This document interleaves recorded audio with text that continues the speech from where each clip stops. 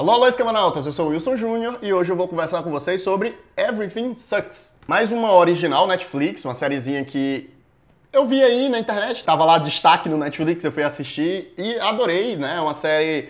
Uh, a gente está acostumado a ver essa nostalgia anos 80, ela é uma série nostalgia anos 90. Apesar de que eu acho que ao contrário desses outros produtos dos anos 80 que apelam muito para a coisa dos anos 80, eu não senti tanto que essa série apela para os anos 90. Ah, ela conta a história do Luke O'Neill, né, que ele junto com os amigos dele estão chegando ali no high school, né? Eles são juniors no high school e eles vão trabalhar no setor de, né, nos high schools dos Estados Unidos, tem aqueles vários clube do cinema, clube do teatro, clube da TV, eles vão trabalhar no clube da TV. E aí ele acaba conhecendo a Kate Messner, né, filha do diretor, que trabalha nesse clube também, e eles acabam ficando amigos.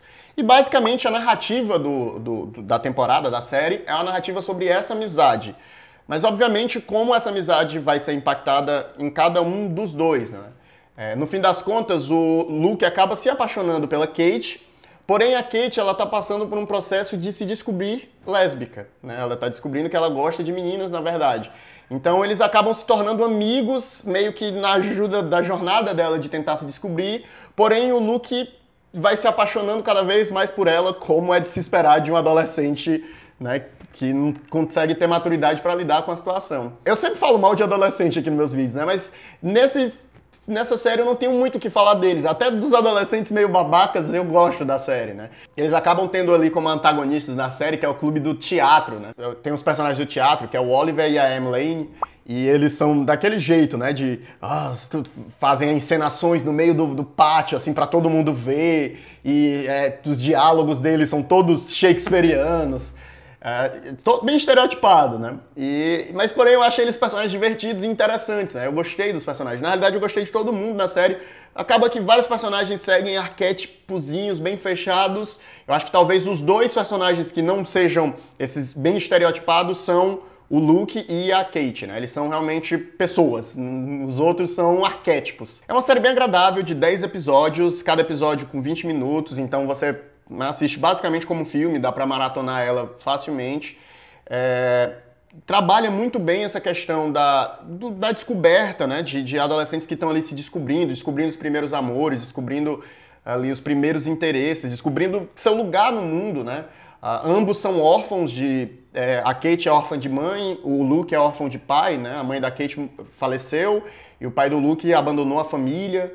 Então é, a série trabalha muito bem essa questão dos problemas familiares, problemas parentais e ela consegue fazer você rir, ser divertida, ela tem o drama dela e, e, e, consegue tocar você, navega muito bem por esses dois setores, que é os setores do gênero, né? Esse dramédia adolescente. Uma coisa interessante sobre essa série é como ela vai trabalhar uh, essa questão da da sexualidade da menina, porém ela acaba escolhendo uma linha de não ir tanto no preconceito. Sim, existe o preconceito na série, assim. É, mas o preconceito, ele é até um preconceito meio esquisito, porque ninguém nem sabe se de fato ela é lésbica e tal. É mais assim o bullying do que preconceito em si. E é uma escolha narrativa interessante, né? Por exemplo, você vai ter um protagonista negro, que é o personagem do Luke, e a temática racial ela não tá ali aplicada na série, e eu não enxergo isso como um problema, assim. O que eu tava até conversando com, com a Bruna, querida editora, era falando sobre, tipo, que é importante a gente ter séries que trabalhem pessoas LGBT e, questões, e pessoas negras ou asiáticas ou latinas, onde não necessariamente a questão racial e a questão sexual sejam o tema central, né? É interessante que a gente tenha múltiplas séries, séries onde isso vai ser o tema central, porque isso é de fato algo que afeta diretamente a vida dessas pessoas, mas séries onde as pessoas simplesmente sejam pessoas, e isso é legal também. Ah, então, esse é um aspecto interessante dessa série, de que tem uma temática LGBT, tem um personagem negro, porém, ah, por mais que isso esteja ali na série e seja algo que seja trabalhado, não com aquele viés mais político e panfletário que a gente costuma ver. Uma outra coisa legal também da série é a metalinguagem, né? Porque o Luke, ele é viciado em cinema, em produção de filme. O pai dele era um cameraman de, de, de de cinema que aspirava mais, né? Ele queria ser talvez alguém que trabalhava na indústria e tal.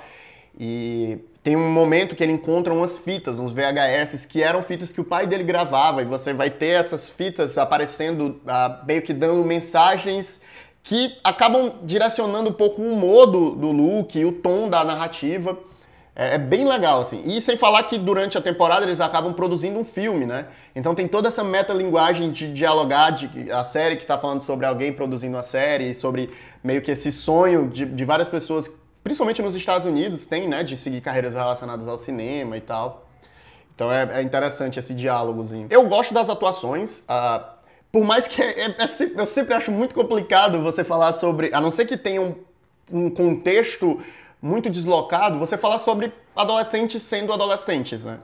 É, é, muito complicado você destacar isso como uma atuação boa, né? Até porque o tema da série é a adolescência, né? Então, no fim das contas, é um adolescente que está fazendo papel de adolescente. Provavelmente existem grandes chances dele estar tá fazendo papel dele mesmo, né? É, salvo, por exemplo, que eu acho legal, que é o personagem do Oliver, do, do Oliver e da Emily, que, que fazem papéis desses adolescentes do clube de teatro super descolados, que são legais e falam diálogos shakespearianos. Que talvez eles não sejam assim na vida real, mas levando em consideração que eles são adolescentes e são atores, existe grande chance deles serem assim na vida real também, né? Então, mas assim, independente desse fator, eles são bons atores, você entre... eles entregam muito bem, e você se conecta com os personagens. E os personagens dessa narrativa são legais porque ela acerta muito bem naquilo que eu falo sobre é, tridimensionalidade dos personagens, né? Eles começam num lugar e terminam em outro lugar. Isso acontece para a maioria dos personagens da série, o que é algo legal, né? Você vê, costuma muito nesses filmes teens, né? Principalmente se você for ver os filmes teens que são a base desse dos anos 90, muitas vezes isso não acontece, né? O personagem meio que termina do mesmo jeito, ou ele aprende ali uma liçãozinha. E esse filme é legal porque ele consegue acertar nisso, nos personagens se apresentarem várias facetas e terem os conflitos dele e lidarem com isso. Fica aí essa recomendação, já a série tá no Netflix, né? Acho que é a pergunta universal hoje em dia tá no Netflix. Pois é, essa série tá no Netflix, vão lá assistir e deixar a opinião de vocês aqui embaixo, porque eu quero saber o que é que vocês acharam também. Ah, se você gostou do vídeo, dá o joinha, e mesmo se você não gostou tanto do vídeo, mas você gosta dos meus vídeos, dá joinha, que é para você continuar recebendo eles. E se inscreve no canal clicando nesse sininho, né? Tem que ficar o chapéuzinho no sininho, que é para você receber as notificações dos meus vídeos. O YouTube agora tá meio louco, as coisas estão mudando e, né? Isso é a melhor forma de você continuar recebendo o conteúdo que eu estou produzindo aqui no canal. Então, a gente se vê na próxima. Tchau!